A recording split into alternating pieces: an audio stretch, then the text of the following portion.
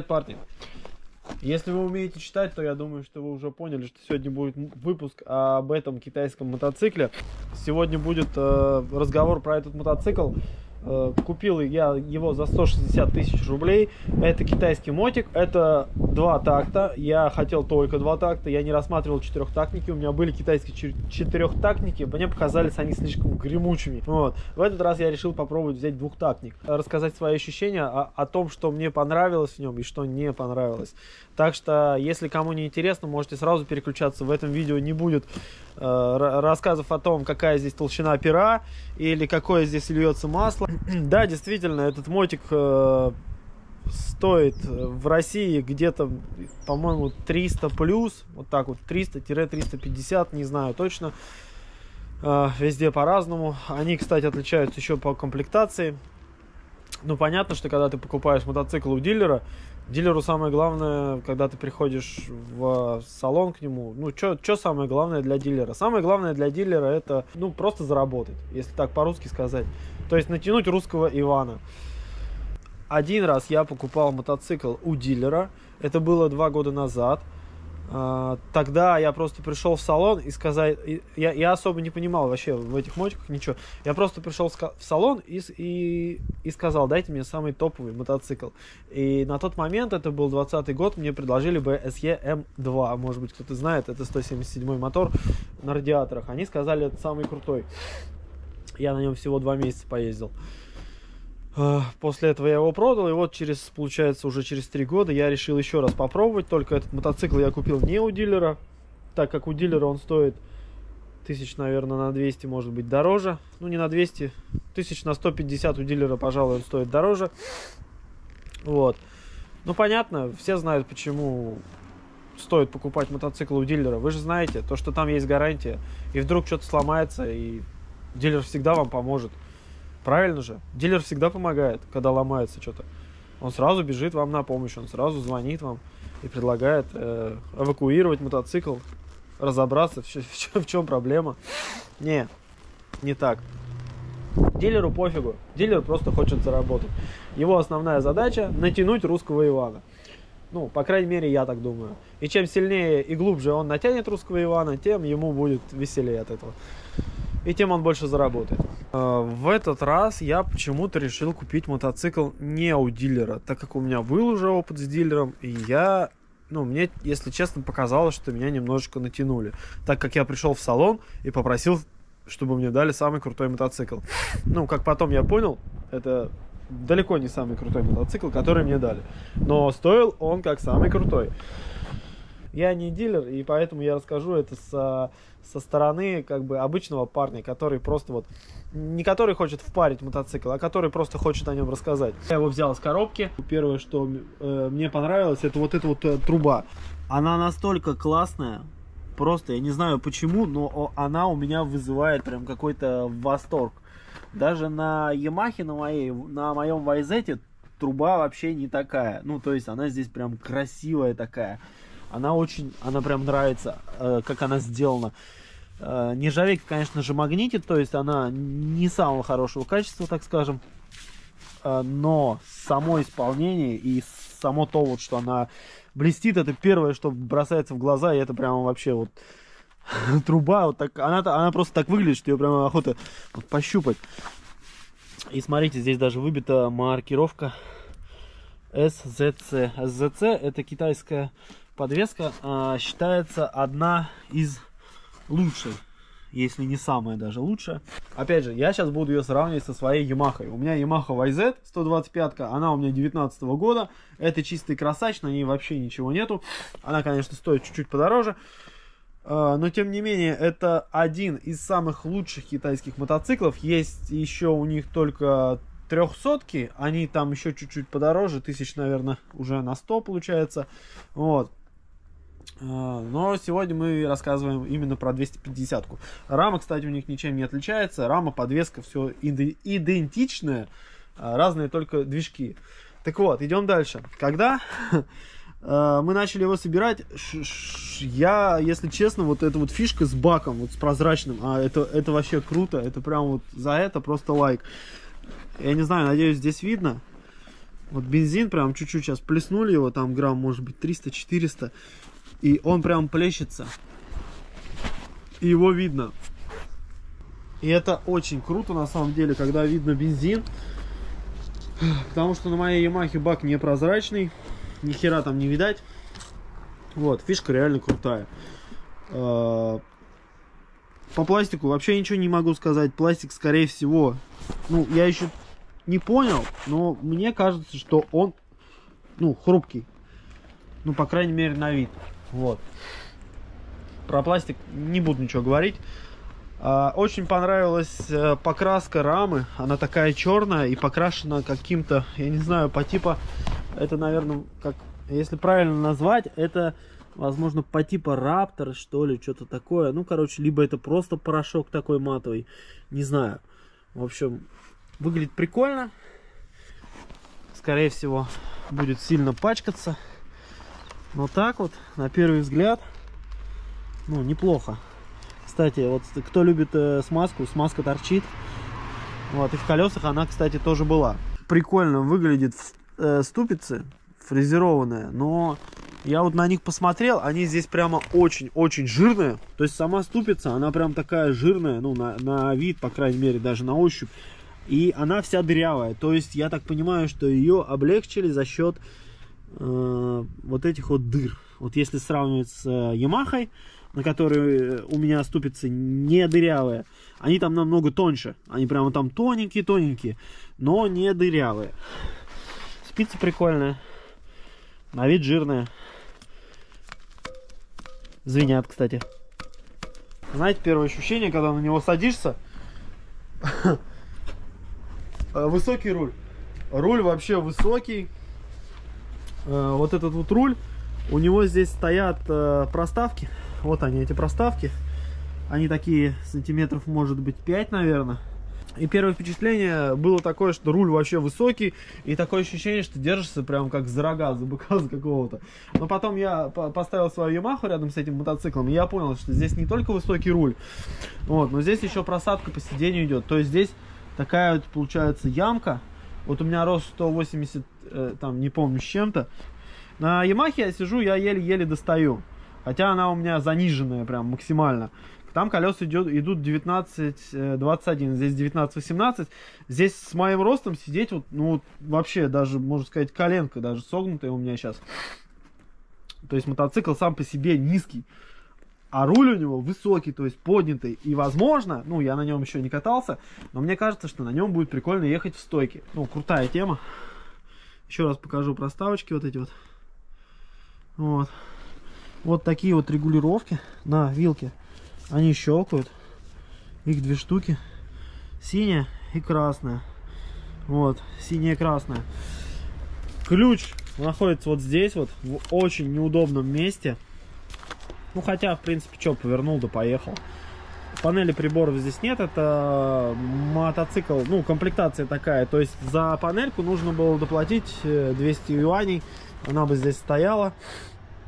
Ну, короче, хозяин Видимо, слишком жадный попался. Не стал переплачивать. И поэтому панельки здесь нету. А, когда я сел на ночной мотик, он вот сразу мне показался очень мягкий. Вот прям вообще мягенький такой. Вот у меня была Апрелия RXV. Не знаю, кто раньше, может быть, э, подписан был на мой канал. Вот подвеска у меня там стояла Марзочи. Вот она мне там очень прям нравилась за счет своей вот этой вот какой-то мягкости. Она в то же время, ну, не, никогда не пробивала, и она была очень прям такая настоящая прям эндура.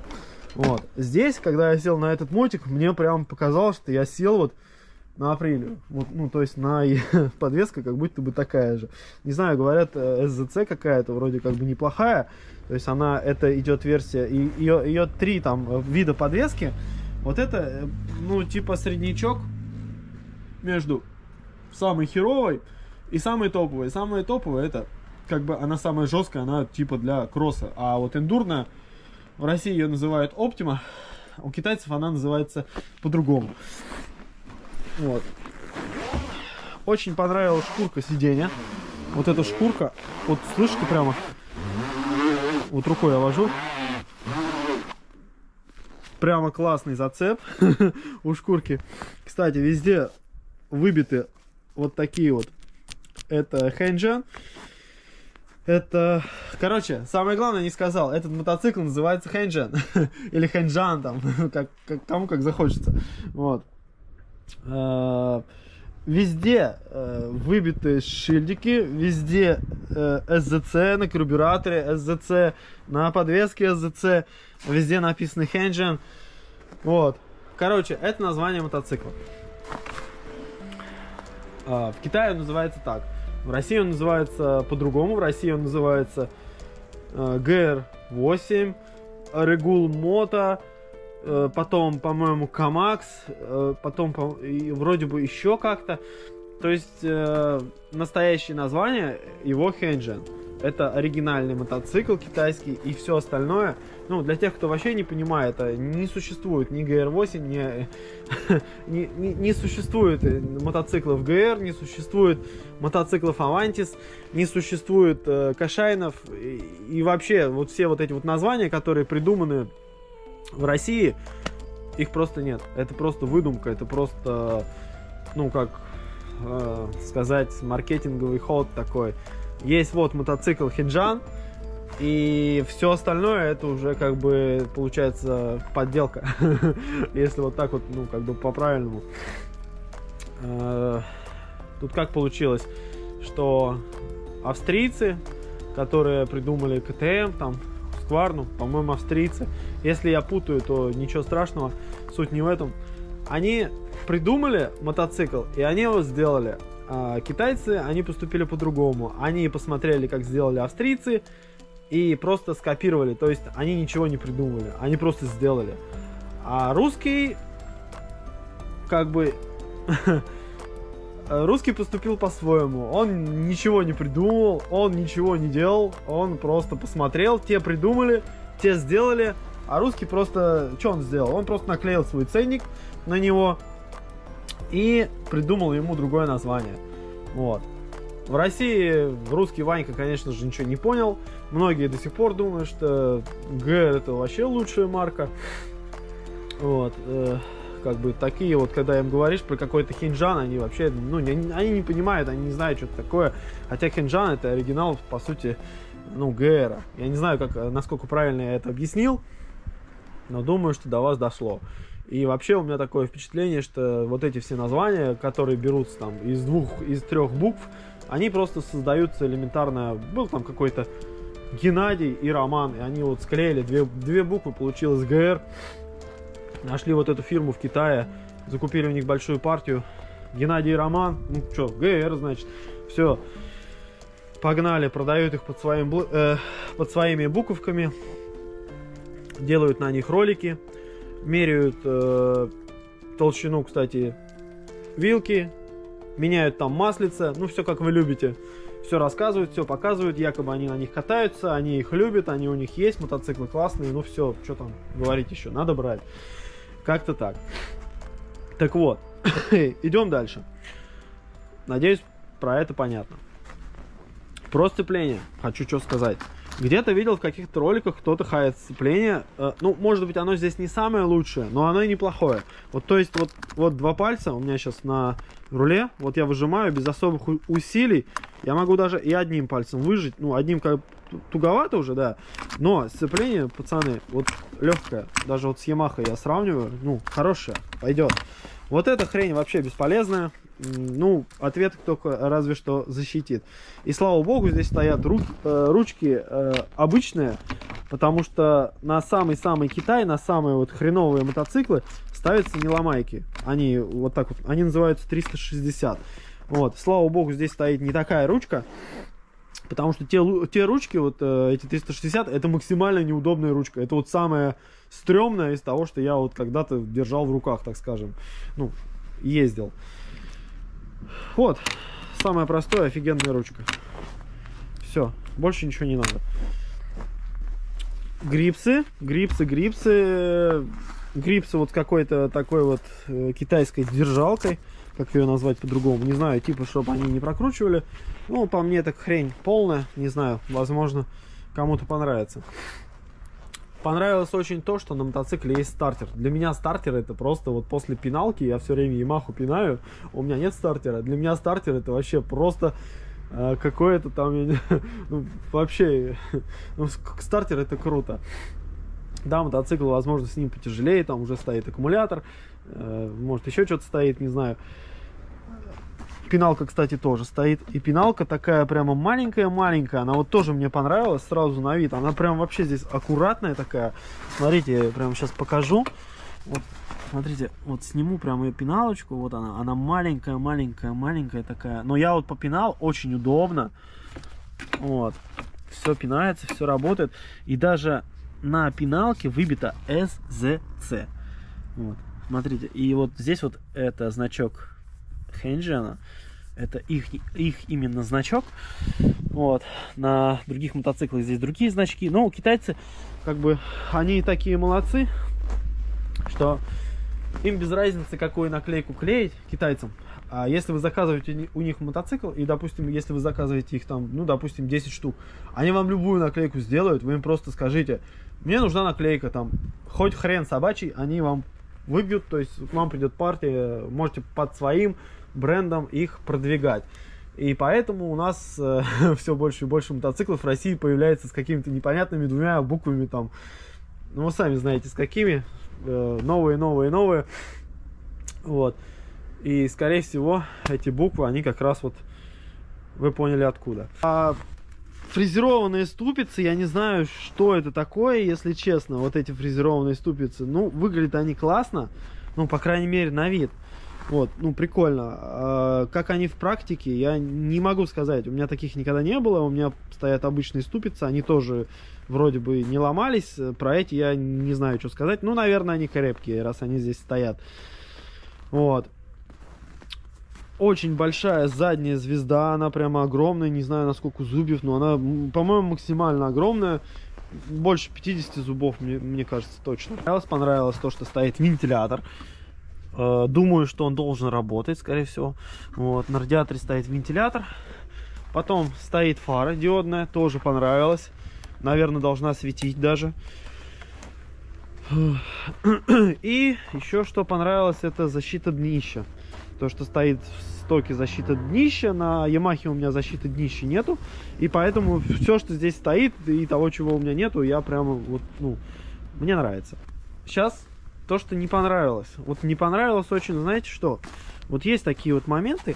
Вот, например, вот это вот, э, вот я не знаю, как это назвать. Ну, наверное, может быть, видели уже. Вот этот вот вал, он торчит, э, я не знаю, на сколько сантиметров, но больше пяти явно.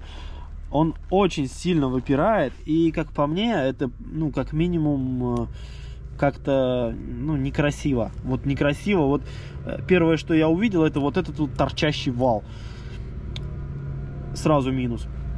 Потом мне не понравился, не, немножко не понравился краник, немножко, ну это ладно, можно к этому как-то привыкнуть, немножко не понравился, но хрен с ним. Вот. Э, не понравился пластик, не понравился, мне, кажется, почему-то мне кажется, что он колкий. Вот. Ну, опять же, об этом может быть чуть-чуть попозже. Вот. Самый-самый жирный минус это вот эта вот лапка. Потом пластик мне не понравился. И мне не очень нравится вот эта крышка бака. Хотя, может быть, она хорошая. Не знаю, почему она не нравится. Ну, почему-то она мне не нравится. Вот. Не понравились лопухи. В принципе, наверное, все. Конечно же, вот эти вот тумблера, вот эти вот тумблера, это вообще дешевка прямо последняя самая. Э, ну, не очень они такие. Ну, даже на вид они не очень. Ну, а что хотеть за мотоцикл за 160 тысяч? Конечно же, здесь ничего ожидать такого супер крутого не следует. Да, такая фишка, кстати. Когда мы собирали мотик, я, короче, накосячил. Э, китайцы дали еще одну бутылочку масла. Э, масло прям, ну, все целая запакованная бутылочка. Оказывается, здесь уже было залито масло, а я, а я, короче, не посмотрел, я думал масло, которое надо вылить, ну, так как мотоцикл пришел в коробке, думаю, сейчас я вылью, все будет нормально. Залил, э, завел мотик, не понимаю, у меня выдавливает э, из этой, из верхней трубки постоянно масло. Короче, я настоящий олень. Э, я залил масло, там уже было масло, я сверху еще, короче, 800 грамм добавил. Вот, я понял только это потом, когда уже начало его выдавливать. Так вот, смысл в чем? Вот скажите мне, пожалуйста, вот даже в Китае продавец, когда продает тебе мотоцикл, он тебе дает бутылочку масла. Ну, как бы, я не знаю, как это назвать, в подарок или в придачу. То есть, чтобы ты чуть-чуть покатался на мотике, и у тебя есть масло, чтобы его поменять. А вот скажите, как часто вот э, наши дилеры, как их называют, дилеры, дистрибью, дистрибьюторы, э, да, вот вообще хоть, хоть кому-то какой-то дилер хоть раз дал вообще бутылочку масла, напишите, пожалуйста, в комментариях. Э, Лично мне ни разу не давал. Вот. Хотя я покупал новую технику, и не одну. И не только мотоциклы. Я думаю, что это масло всегда дается, ну, то есть тем, кто изначально их собирает. Но оно потом, возможно, из него делают ТО, когда мы приезжаем там и платим ну, дополнительно. Возможно, тогда его меняют. Я точно вот этого не знаю, но я знаю точно, что мне масло ни разу не давали а в мотоцикле из коробки а дополнительное масло идет. А, и что я хочу сказать? Я вот э, смотрю на этот мотоцикл своими глазами, как на мотоцикл, который стоит, э, в, России он стоит э, за 300, 300 там и выше. И я смотрю на этот мотоцикл глазами, что я смотрю на этот мотоцикл как, как, как на мотоцикл за 160 тысяч. И вот э, если смотреть, э, как на мотоцикл за 160 тысяч, он реально крутой. Вот э, можно, да, есть до чего докопаться, но за эти деньги он реально крутой. А когда он приезжает в Россию, конечно же, он становится уже дороже.